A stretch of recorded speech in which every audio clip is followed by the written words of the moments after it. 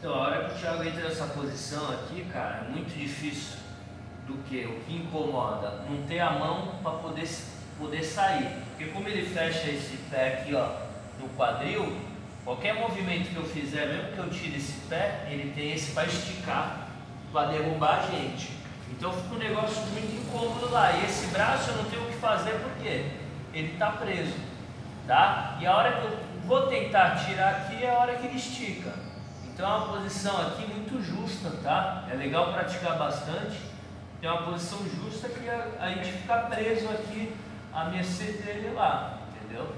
E, e a hora que ele gira de barriga para baixo, ainda mais dominando o braço, tá? A gente não consegue mais, não tem como empurrar ele, principalmente quando ele vira a, o quadril para cima, tá? Então é uma posição bem legal para vocês treinarem.